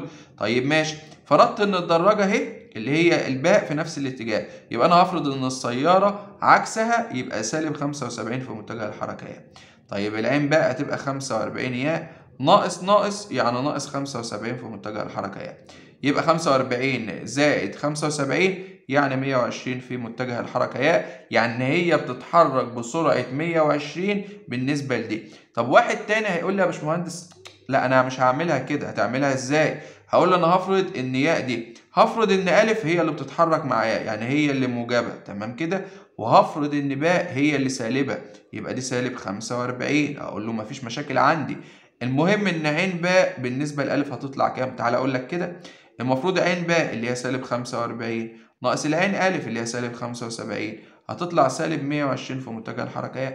خلي بالك الإشارة دي هي بتدل أنت بتبحث بالنسبة لمين المهم الوقت إن أنا عرفت إن إن سرعة الدراجة بالنسبة للسيارة 120 أهم حاجة الرقم مش الإشارة. أهم حاجة الرقم مش الإشارة. طيب ماشي. الجزء الثاني بيقول إن هما الدراجة تسير في نفس الاتجاه. دي بقى سهلة جدا. إحنا برضو عايز عين باء بالنسبة لألف. هتساوي طبعا العين باء ناقص العين ألف. تمام كده يا باشمهندس؟ زي الفل. إحنا الحالة الثانية أهو الحالة أهي أول حالة إحنا فرضناها إن العين باء اللي هي ب 45 موجبة. ناقص العين ألف اللي هي بالنسبة لي كام؟ 75 خلي بالك إن هو قال لك في نفس الاتجاه يعني الفرض بتاعنا أدي لو دي ماشية ب 45 اللي هي باء برضه ال 75 ماشية في نفس الاتجاه لأن هما نفس الاتجاه يبقى نفس الإشارة. يبقى 45 ناقص 75 يعني سالب 30 كيلو متر في كل سالب 30 بالنسبة لمتجه الياء يعني السرعة 30 كيلو متر لكل ساعة. يعني دي سرعة الدراجة بالنسبة للسيارة. فهمت كده؟ يبقى الإشارة دي مش مهمة المهم بالنسبة لي العدد العدد هو اللي مهم تمام كده لأن حسب الفرض بتاعك المسألة هتطلع تمام فما تقلقش لو أنت حسيت إن هي إيه مش ظابطه معاك في الإشارة. المهندس بيقول لي تتحرك سيارة مخصصة لمراقبة السرعة على الطريق الصحراوي بسرعة 30 كم في الساعة. هنفرض إن السيارة دي اسمها ألف. راقبت هذه السيارة حركة شاحنة قادمة هنفرض إن الشاحنة دي باء. في الاتجاه المضاد فبدت وكأنها تتحرك بسرعة 110 كم الساعة. بص كده وفوق معايا. أنا هفرض ان ده اتجاه الحركة بتاعي اللي هو ياء تمام كده؟ ألف ماشية مع الاتجاه بتاعي اللي هي بتراقب فألف كده يبقى 30 في متجه الحركة ياء لأن هي ماشية في اتجاه. بص بقى يا باشمهندس لما باجي أكتب عين بالنسبة لمين؟ اللي بيراقب هو الحرف الثاني يعني ألف ده هيبقى الحرف الثاني والباء هي الحرف الأول. ليه؟ لأن إحنا بنقول سرعة باء بالنسبة لألف تمام كده؟ اللي هي عبارة عن عين باء ناقص العين ألف. فهو قال لك إن ألف رصدها أو شافها وهي بتتحرك كأنها بتتحرك بسرعة كام؟ 110 يبقى سرعة باء بالنسبة لألف يعني باء بيراقب ألف بنسبة كام؟ أو بسرعة كام؟ 110 يبقى دي هتساوي العين باء. ناقص العين ألف اللي أنا فرضته في نفس الاتجاه يبقى ناقص 30 في متجه الحركة. مين؟ ياء. تمام كده يا باشمهندس؟ زي الفل. يبقى أنا كده ظبطت المسألة. بس خلي بالك إن هو قال لك رصدها في الاتجاه المضاد. يعني ال 110 ده اهي سالبة ليه؟ لأن هي عكس الاتجاه بتاعي بس هي دي فكرة المسألة. هتودي دي الناحية الثانية يبقى سالب 10 زائد 30 يبقى سالب 80 في متجه الحركة ياء هي دي سرعة باء. يعني باء بتتحرك في الاتجاه المضاد بالنسبة لسيارة المراقبة بسرعة 80 كم في الساعة. تمام كده؟ يبقى أقول له إن سرعة الشاحنة هي 80 كم في عكس اتجاه حركة سيارة المراقبة أو السيارة اللي بتراقب بتاعك تمام كده؟ يا رب تكون فهمتها. طيب ماشي. رقم 10 بيقول لي تتحرك سيارة مخصصة لمراقبة السرعة. أهي في واحدة بتراقب أهي. على أحد الطرق الصحراوية. نفس الفكرة. لو أنا فرضت اتجاه الحركة اهي أهو يا باشمهندس. تمام كده؟ وفرضنا إن السيارة دي ألف. وهي بتتحرك بسرعة 40 يعني كأن الألف دي ماشية في نفس الاتجاه يعني سرعتها 40 في نفس الاتجاه أهو. راقبت هذه السيارة حركة سيارة قادمة. حركة سيارة قادمة وليكن باء. في الاتجاه المضاد خلي بالك مين اللي بيراقب الألف؟ يبقى هو الحرف الثاني يبقى هنا الألف وهنا الباء. صح كده يا باشمهندس؟ زي الفل. القانون بتاعها عامة عين باء ناقص العين ألف. تمام. طب بعد كده بيقول لي إيه؟ قادمة في الاتجاه المضاد. فبدت وكأنها تتحرك يعني ألف لمح باء بتتحرك يعني سرعة باء بالنسبة لألف 135 في الاتجاه المضاد يبقى سالب 135 تمام كده؟ وده متجه الحركة يعني. بتساوي. فإذا كانت أقصى سرعة مسموح بها على الطريق 100 كم هي السيارة قادمة مخالفة للسرعة ولا لا؟ هنشوف السرعة لو طلعت لو معدية ال 100 يبقى بالنسبة لي مخالفة. مش معدية خلاص. تمام يبقى دي العين بقى أهي متجه ناقص الألف اللي هي بالنسبة لي كام؟ 40 متجه تمام كده؟ هودي السالب 40 الناحية الثانية هتبقى موجب 40 يبقى 40 بقى بتساوي. سالب 135 وموجب 40 يعني كام؟ يعني سالب 95 في متجه الحركة. ياء يبقى هي يا باشمهندس السيارة الثانية بتتحرك بسرعة 95 كم في الاتجاه المضاد للألف. طب ال 95 دي مش معدية ال 100 يبقى دي كده غير مخالفة. يبقى السيارة بتاعتي مش مخالفة. وفسر إجابتك إن سرعتها بتساوي كام؟ 95 يعني هي ما عدتش السرعة المحددة ليها. تمام كده يا باشمهندس؟ زي الفل. كده يا باشمهندس يبقى الحمد لله خلصنا الأسئلة المقالية بالكامل على درس التطبيقات على المنتجات زي ما قلت لك اهتم جدا بالتطبيقات الهندسية لأنها بنسبة كبيرة هتجيلك في امتحان الفيزيائية. لحد دلوقتي كلام إن هي مش هتيجي هي مش صعبة ولكن زي ما وضحت كتير جدا أساس مهم للسنة الجاية. أنت عايزك تهتم بالتطبيقات الهندسية بأمر الله. كده خلصنا الأسئلة المقالية بالكامل. يبقى فاضل لنا المستويات العليا وزي ما أنت متعود المستويات العليا باشمهندس أنا من السنة اللي فاتت حللها وهي نفس الأسئلة ونفس الأرقام وكل حاجة. فاضيف لك الفيديو بتاعها بس في قائمة التشغيل تقدر تطلع عليه بأمر الله. كده وصلنا لآخر حصة النهارده. اتمنى يكون انت فيدك أتمنى أكون وصلت لك المعلومة بطريقة سهلة وبسيطة. يا ريت لو استفدت تشترك في القناة وتفعل زرار الجرس وتضغط لايك وتشير الفيديو عشان يوصل لأكبر عدد ممكن من الناس. أشوفكم على خير الفيديو الجاي. كان معاك مهندس حسام من قناة حسام رياضيات وشكرا جدا.